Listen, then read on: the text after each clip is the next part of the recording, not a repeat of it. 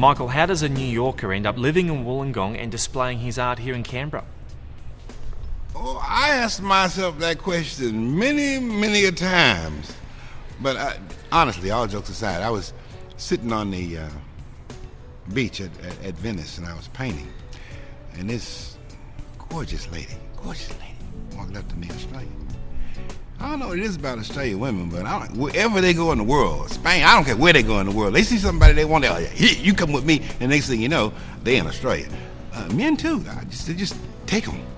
So I looked up, and and I was painting away, you know, painting. I looked up at her, and my eyes got wide. I looked in her eyes, and I said, wow. And at the same time, I heard like this chorus Ooh. I said, oh man. So anyway, about uh, three years later and fifteen thousand dollars on the telephone, I said, Dad, this this this is not working here. Do you have any stock in the telephone company? She said, No. I said, I don't either. So uh, I said, either you come there, or I come here, and I wind up coming here. So that's how I got to Australia. Now, the, the Canberra part, I used to be up at the Ross, uh, and I did some investigating as a good artist would do, business artists would do. And I found out that the Kingston market was the number one, not two, not three, the number one market in the country. So I drive six hours a day if I had to to come to this market. And that's what I do. That's why Kingston and Canberra. And your artwork's very interplanetary. It seems to have this big focus on the universe. Are you a frustrated Scientologist by any chance? Oh, not no, no, no, no, no, no. Oh no, no, not Scientology. Mm, mm, mm, but I'm, I'm, I'm, I'm not really religious, but I'm, I'm very spiritual. And being spiritual, if you're truly a spiritualist, then you have to encompass the planet that we live on. And if you encompass that, that's floating in whatever we call space or whatever, wherever, wherever we at. And so yeah, you got to be planetary, but I'm not really planetary. I'm just spiritual, and my mind goes outside the box. Now, love found you by chance there in Venice. That must have been a beautiful moment. But how did art find you? Because you're not a trained artist at all.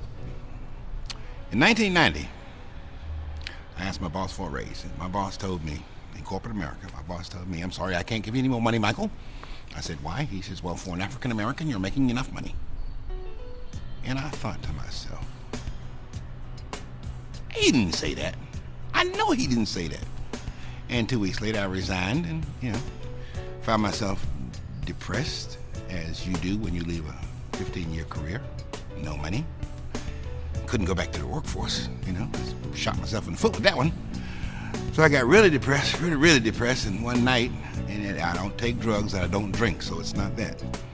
And I'm about late at night, and the wall started moving boy, you you gone now. You really gone.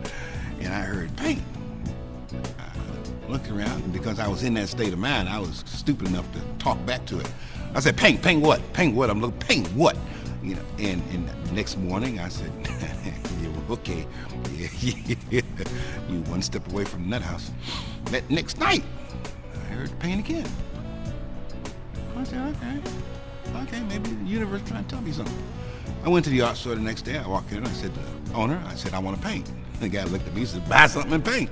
He gets some art supplies and paint. I said, but you don't understand. I don't know about this. He said, well, pick something out and paint. I spent the day in there researching what this does, what that does, uh, what's oil, what's acrylic, blah, blah, blah, pencils, etc., etc. And I walked out with the cheapest watercolors that I could find and the cheapest piece of paper I could find. Didn't have any money. And I painted. And I noticed the next couple of days that while I was painting, I wasn't thinking about any, doing anything detrimental to myself. And I said, oh, I like that.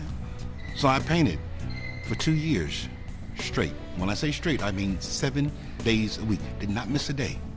And that was my therapy. So paint found me to save my life.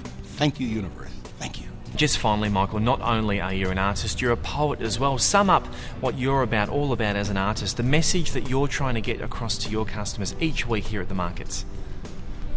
You like putting people on the spot, don't you? you like that, okay? Okay, so yeah. So uh, I'm gonna show you. It's really my poetry. Okay, this is surrender.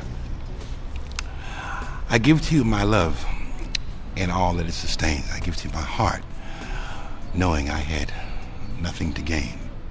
I give to you my time with a clock has no hands. I give to you because it's what I must do. Knowing all that I know and knowing that you know that I know it's true, I have no choice. It's what I must do. For the love that I give is given unconditionally.